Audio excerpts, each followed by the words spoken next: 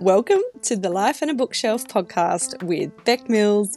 Here you will find convos, connection, and random musings all about this 30 something life. We talk lifelong learning, we talk books reading, mini book reviews, writing, all the way through to home and wellness hacks and making a positive impact with our time here on earth in our own lives our families and out in our wider community.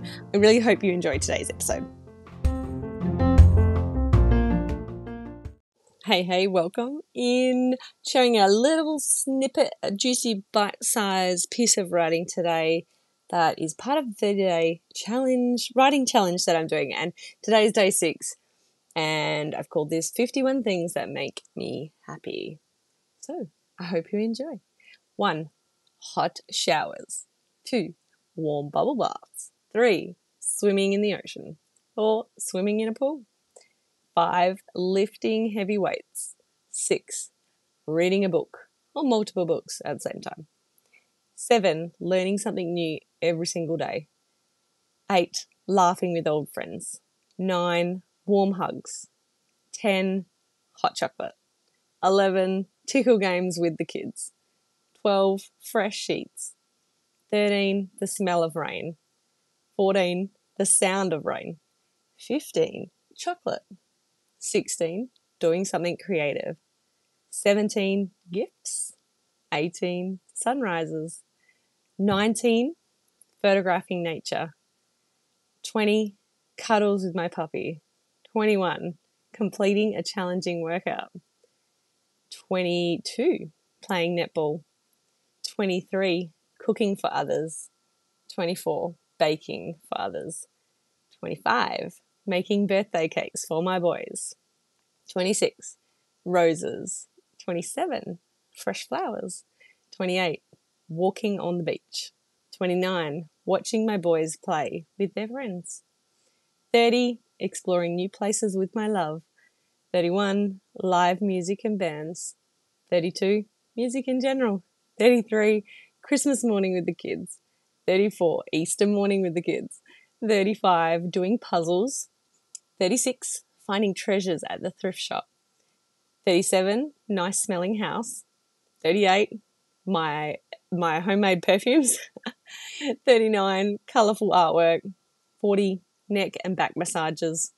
41, foot massages. 42, pedicures.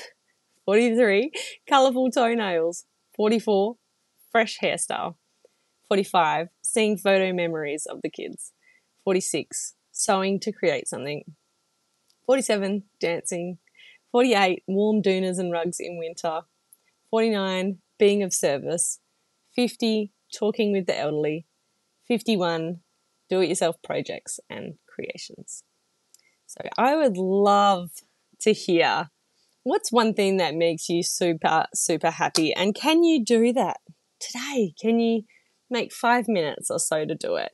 Um, this was a really fun bit of writing.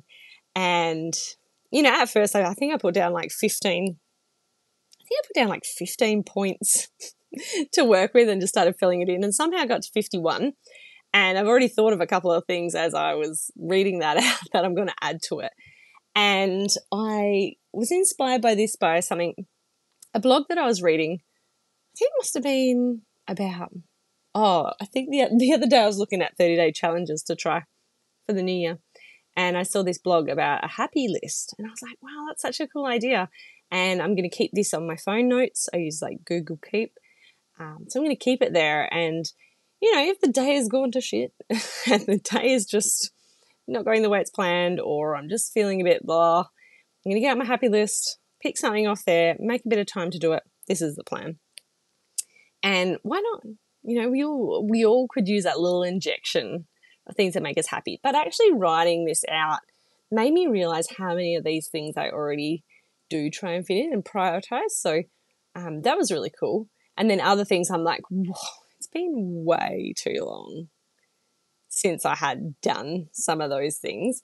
Um, so it was a really good project. It was a really good writing prompt. And yeah, I would love to hear what's one thing that makes you really, really happy? It could be so simple. So simple. Like, I love looking at our colorful artwork that we have in the house. It just makes me feel happy. Like, seriously, it just like puts me in another mood and I can just walk into my lounge room and see it. So, so, so simple. Um, yeah, hit me up on Instagram. You can DM me over there at Life and a Bookshelf podcast, all one word all underlined. I always put it in the show notes so you can find it there as well. Um, but yeah, I would love to hear from you. And short and sweet today, I'm going to leave it at five minutes. And I hope you have an amazing day. You absolutely deserve it. And I hope you get one of those things in today that makes you really happy, whether it takes five minutes or whether you can push it out and have something a little bit longer as well. Um, especially at this time of year, towards the end of the year, everyone is feeling a little stretched and there can be something so simple that we can do for ourselves just to ah, ground us and make us smile. So, wishing you a really good day, and I'll catch you soon. Bye.